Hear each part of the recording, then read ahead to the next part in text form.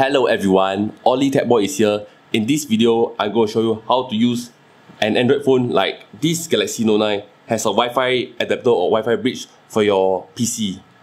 This does not require root and please note this may not work with every model of Android phone, especially those US carrier variants or US carrier models. I can show you this PC doesn't have any Wi-Fi connections or Wi-Fi adapters installed. So let's get started with the tutorial video. Let me show you how to turn your phone into a Wi-Fi adapter or Wi-Fi bridge for your PC via USB. The first step is to enable airplane mode to disable mobile data or flight mode. Make sure flight mode is enabled so it won't eat into your data allowance. Then turn on Wi-Fi and allow your phone to connect to your Wi-Fi network if you configure it to connect to your Wi-Fi network automatically. Otherwise, connect to your Wi-Fi network.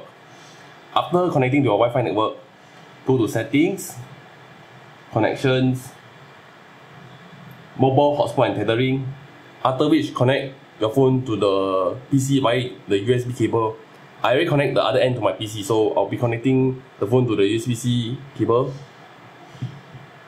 Okay, once done, turn on USB tethering.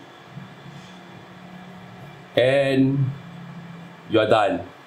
I will show you the PC showing network connection. Let me show you that it is working now. I can show you the network connection status. See, it's network 2 connected. Now we go to Microsoft Edge, go to google.com, and boom, google.com is here. This marks the end of the tutorial.